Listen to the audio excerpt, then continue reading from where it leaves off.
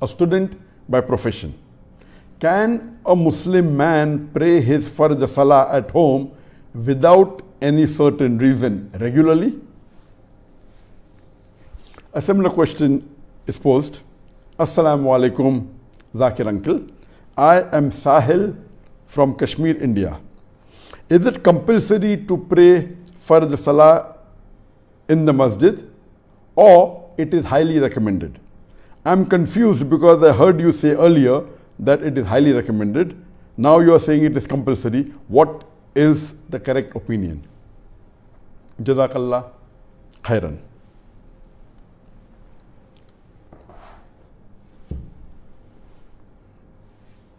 Our beloved Prophet said, it's mentioned in Sahih Muslim, volume number 1, hadith number 246. The difference between a man and shirk and kufr is the giving up of salah, is the abandonment of salah. That means to differentiate a momin from a kafir is the offering of salah. Salah is the most important deed that Allah subhanahu wa ta'ala will ask first on the day of resurrection. It's very important. And not praying salah is the fourth major sin in Islam. Now, regarding the question, is praying salah in the mosque in congregation, the five time for salah, is it compulsory or is it mustahab? Is it highly recommended? Regarding the answer to this question, there are two different opinions, two different fatwas by two sets of scholars. One group of scholars they say that praying salah in congregation in the mosque is fard kifaya. And if some people fulfill this obligation, to the rest, it is highly recommended. It is mustahab, but not a fard. Whereas the second group of scholars says it is fard ayn. It is compulsory for every individual Muslim that he should offer salah if he is a man in the mosque in congregation. And according to me, the opinion of the second group of scholars is more correct. Let us see the argument of both these group of scholars. Quran says in Surah Nisa, chapter number 4, verse number 102, that, O Prophet, talking about in the battlefield, O Prophet, in the battle, let one group of the people pray along with you with their arms and let the second group be at guard. After the first group finishes, let the second group pray in congregation and let the first group be at guard.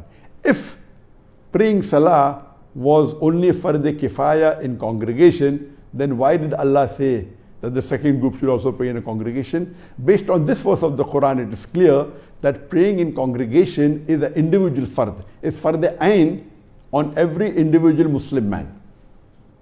Further, it's mentioned in the Quran, in Surah Baqarah, chapter number 2, verse number 43, that establish salah, pay your zakat, and bow down with those who bow down. Allah repeats the message in Surah Al Imran, chapter number 3, verse number 43. Ya Maryamu, Ya Maryamu, Ya Maryamu mlukliti warkai marraqin. O Mary, worship thy love, worship thy Lord devotedly, and bow down, and pray, and, and prostrate, and bow down with those who bow down.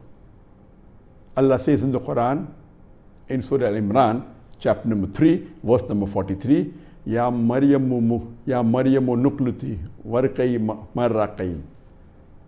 O Mary, worship thy Lord worship thy Lord devotedly, and prostrate thyself, and bow down with those who bow down. Here again, it speaks about praying in Jamaat.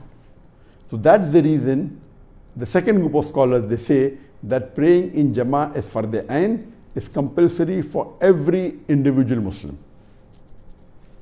Furthermore, there are several evidence from the Sahih Hadith which proves that praying in Jamaat is fard for every Muslim man.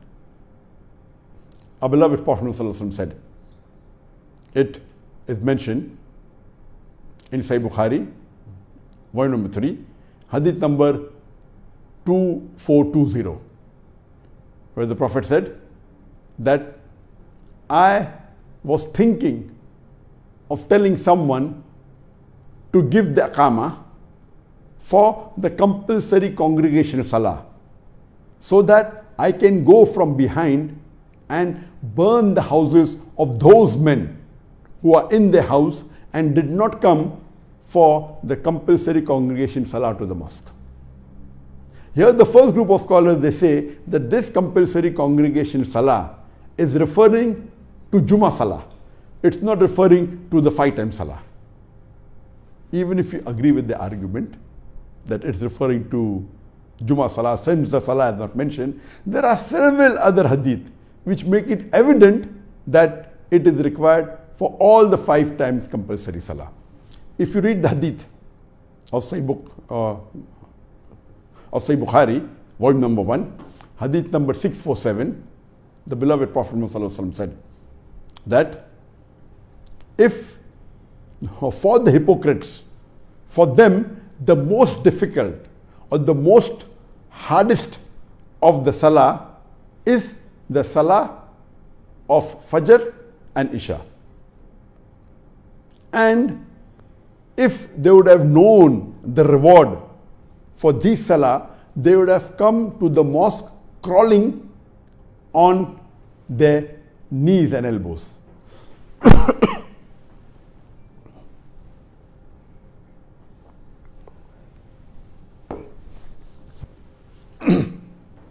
then the Prophet continues that I had planned, I had intended, I wanted the muazzin to proclaim the Iqamah and wanted to ask someone to lead the Salah so that I could go to the houses of those men who are in the house and have not come to the mosque for the congregation Salah and would take fire and burn the houses.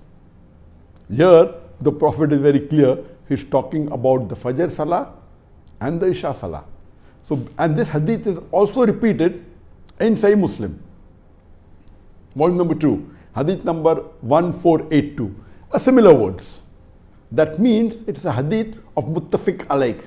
That means it is present in Bukhari as well as Muslim. It is the highest category of hadith. And here the Prophet is talking about the Fajr Salah and the Isha Salah. He felt like burning the homes of those men who did not come to the mosque for the congregation Salah of Fajr and Isha. Imagine. So, based on this, it is very clear cut that the view of the second group of scholars who say it is for the ain, it is compulsory for every Muslim adult to pray his five time for salah in congregation in the mosque. Further, there's a hadith in Abu Dawud, point number one, hadith number 552, where Abdullah ibn Umm Maktoum, Abdullah ibn Umm Maktoum, he approaches the Prophet. May Allah be pleased with him. He approaches the Prophet, hmm, may peace be upon him, and says that since I am blind, I require a guide, and I find it difficult to reach the mosque. So the Prophet asks him that, do you hear the azan? He says, yes. So he says, answer the azan. Go and pray in the mosque. Imagine for a blind person who finds it difficult, who requires a guide, and the guide is not there many a time, and he finds it difficult to go to the mosque. The Prophet does not relieve him. And he says that if you can hear the adhan, you have to answer the adhan.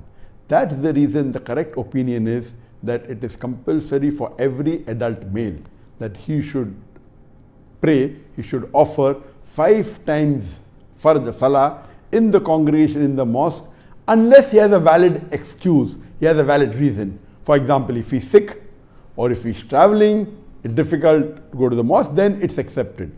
Or if the mosque is very far away and it's difficult for him to pray five times, there are certain excuses. But even in this case, it's preferably prayed in the mosque. But if he's sick, he's surely excused. For a person who's sick, the Prophet said, even if he prays at home, he will get the thawab as though what he does in the regular time, he prays his five times salah in the mosque. And according to Sheikh Muhammad Ibn Salih Uthaymeen, he says that there are various reasons. Every step you take, you get thawab. When you go to the mosque, you get thawab. You do wudu in the house before going to the mosque, then you get thawab. And there are various reasons. And he says that the 27 times thawab which is mentioned in Bukhari for getting the thawab for a congregation refers to the thawab in the mosque in congregation, that to the first congregation.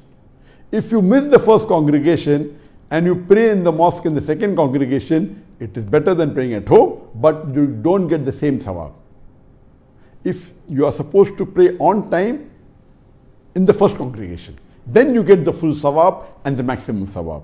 If you miss for any reason, and if the reason is valid like you're sick, it's accepted. But if it's any other reason and you miss the first Jama and you pray in the second Jama, you don't get the same thawab. Otherwise, people would come anytime in the one or two hours that you're permitted to pray and keep on praying in Jama. No, you have to pray on time in the first Jama. so according to one group of scholar, it is for the kifaya, it is mustahab, highly recommended to pray in Jama the five times compulsory salah. But according to the second group of scholars, which the opinion is more correct, it is more authentic based on Quran and Sunnah, that it is first for every adult Muslim male to pray five times salah in congregation in the mosque. And if you read the book of Imam Adh-Dhahabi,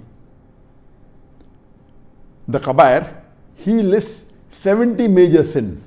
And in his book, he mentions on list number 65, the 65th major sin as not praying in congregation, an adult male not praying the five times for salah in congregation in a mosque.